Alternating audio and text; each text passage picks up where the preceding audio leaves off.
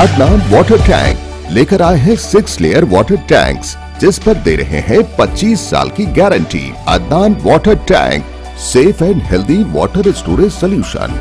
Aslam Nazi नाजालते हैं आज के एक अफसोसनाक खबर पर बड़े ही अफसोस के साथ ये खबर हम आपको बताने जा रहे हैं जो कि डायोन्स कॉलोनी चंदा नगर से है जहां पर हाल ही में शादी हुई यानी एक नए जोड़े की हाल ही में शादी हुई जिसमें एक नई नवेली दुल्हन ने खुदकुशी कर ली इस नई नवेली दुल्हन का नाम है फातिमा बता यूँ जा रहा है कि इनके हस्बैंड की और इनके ससुर वालों की हर आसानी से फातिमा ने खुदकुशी कर ली कई बार हम कह चुके हैं कि भाई हमारी कौम हमारे मज़हब में जो है खुदकुशी करना हराम है अगर आपको कुछ समझ में नहीं आता है तो आप अलायदा भी हो सकते हैं ऐसा नहीं कि अपने शोहर को छोड़कर आप नहीं जी सकते बिल्कुल जी सकते हैं अलायदा हो सकते हैं फिर से अपनी एक नई ज़िंदगी शुरू कर सकते हैं लेकिन पता नहीं हमारे मासूम बहनें इस किस्म की हरकत क्यों कर लेते हैं इतना बड़ा कदम क्यों उठा लेते हैं और वहीं पर नाजिर हम खासकर तमाम वालदे से यदमन गुजारिश करते हैं अगर आपके घर बेटी हो तो उन्हें सबसे पहले जो है दीन की तालीम दें कि ख़ुदकुशी करना कितना बड़ा गुना है और हम मुस्लिम ख़वान को किस तरह से जीना चाहिए उसकी भी तालीमत दें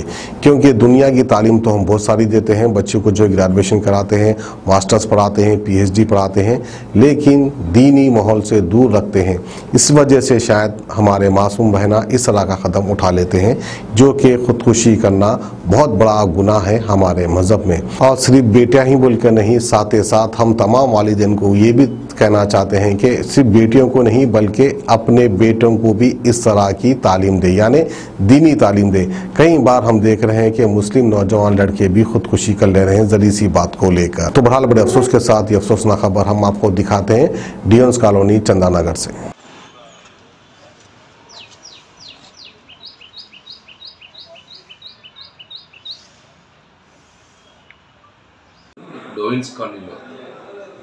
ఫాతిమా అని ఇరవై ఇరవై నాలుగు వేల అమ్మాయి వాళ్ళ భర్త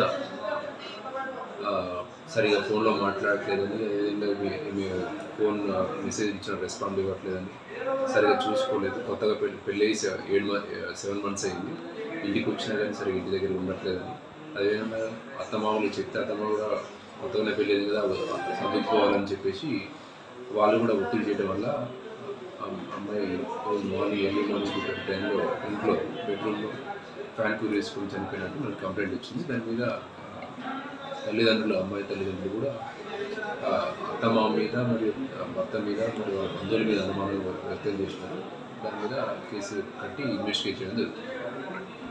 Ghazi kidney center and multi speciality hospital गुर्दे और बवासीर के इलाज का 40 साल मशहूर हॉस्पिटल जहां हजारों पेशेंट्स क्योर हो चुके हैं doctor Hussaini international national award winner और दूसरे डॉक्टर्स और लेडी डॉक्टर्स की जेर खिदमत गुर्दे के तमाम अमराज का मुकम्मल ट्रीटमेंट किया जा रहा है गुर्दे फेल हो चुके हों डायलिसिस करवा रहे हों याद रखिए डायलिसिस कोई इलाज नहीं इससे एक फीसद भी गुर्दे रिकवर नहीं होते हाँ डायलिसिस टेम्पररी रिलीफ दे सकता है लेकिन हमारे ट्रीटमेंट से गुर्दे फिर से फंक्शन में आ सकते हैं गुर्दे श्रिंक हो गए हों या सिस्ट हों गुर्दे की पथरी हो कैसी भी गुर्दे की तकलीफ हो या पाइल्स यानी बवासीर चाहे ब्लीडिंग हो या कोम बगैर ऑपरेशन मुकम्मल क्योर ट्रीटमेंट का एक ही center Ghazi kidney Center, DLRL Main Road, opposite Vikas High School, Chandrayan Gutta, Hyderabad. Cell 9966930824 ya 9391326261.